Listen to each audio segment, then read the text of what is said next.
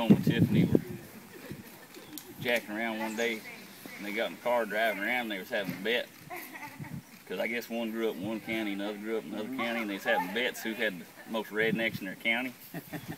So, so they cross over into Tiffany's county, and first thing they see is a gal with a t-shirt, cut off sleeves, and a rebel flag hanging over the ass end of her horse riding down the side of the road. And Jerome, he starts laughing. He said, "Oh, see," said, "I told you your county has the most redneck." And they pulled up alongside of her and got a look at her. She had a Jerome Davis World Champion T-shirt on.